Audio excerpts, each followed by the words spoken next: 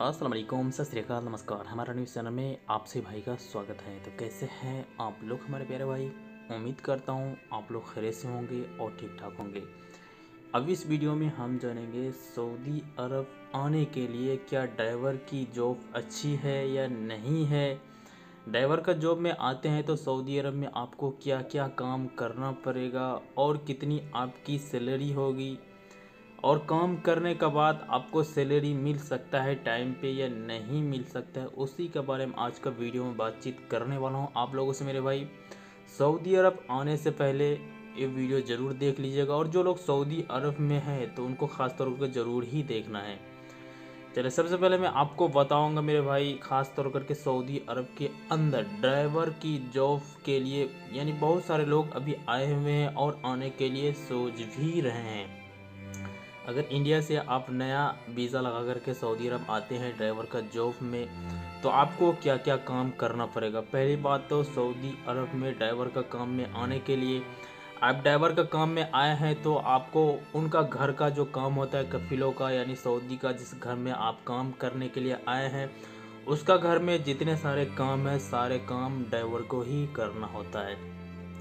सारे काम कैसे मतलब जैसे कि सुबह आप उठते हैं, सऊदी का जो बच्चे होते हैं, उनको स्कूल छोड़ना होता है। स्कूल छोड़ करके जब आते हैं, थोड़ी देर आप बैठते हैं। बैठने के बाद आप नाश्ता वास्ता कर लेते हैं, उसके बाद सऊदियों का जो घर का सामान ख़त्म हो जाता है, उनको लेने के लिए आपको ही जाना होगा, आप समझ सकते हैं। सारे सामान जब उनको आप ला करके दे देते हैं, उसके बाद फिर आप अपना घर पे आते हैं, थोड़ी देर आराम करने के लिए आप सोचते हैं।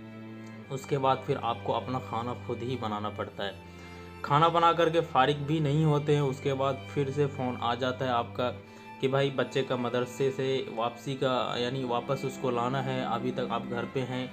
फिर जल्दी जल्दी आप उनका बच्चे को लेने के लिए जाते हैं तो मदरसा से फिर बच्चे को उनको लेकर के आते हैं। तो उनको लाते लाते तकरीबन एक से दो बज जाता है। दो बजे फिर आप अपना घर पे आते हैं। दो बजे आने के बाद फिर आप अपना थोड़ा सा टाइम निकाल करके खाना खाते हैं। खाना खाने के बाद थोड़ी सी आप इंतज़ार करते हैं। इंतज़ार यानी आराम करते हैं। आराम करने के बाद थोड़ी सी फिर असर का टाइम हो जाएगा। असर का टाइम होने के बाद फिर उनका जो सऊदियों को जो बच्चे होते हैं, सऊदियों का जो बीवी होती है, उनको फिर आपको साथ में ही घुमाने के लिए लेके जाना होगा। कहीं मान लो उसको मॉल में जाना हो गया कोई सामान खरीदने के लिए जाना होगा, कहीं पर उनको जाना होगा तो आप ड्राइवर हैं तो उनको साथ में आपको लेकर के जाना होगा।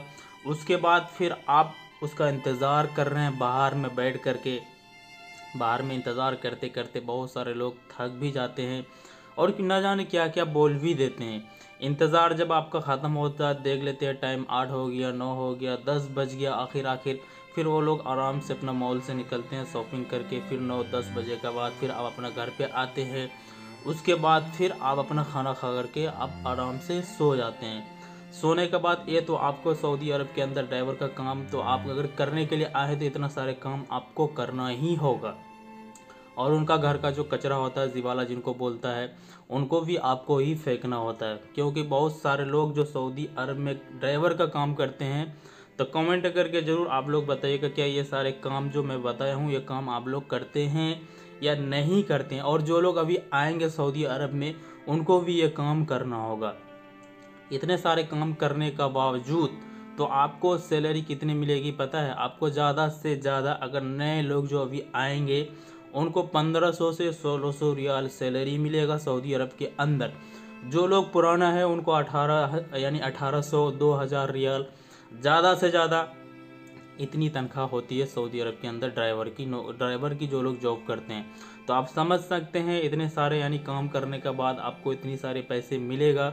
एक हिसाब से आप अगर देख लीजिए, सोच लीजिए, समझ लीजिए, ड्राइवर का काम खास तौर पर सही नहीं है मेरे भाई। अपना मुल्क में आप लोग कोई कारोबार करते हैं, कोई बिज़नेस करते हैं तो आपके लिए ज़्यादा अच्छा होगा। मैं तो यही राय दूँगा, सऊदी अरब ड्राइवर का काम में कभी आना ही नहीं चाहिए भाई। वीडियो कैसे लगा ज़रूर बताइए।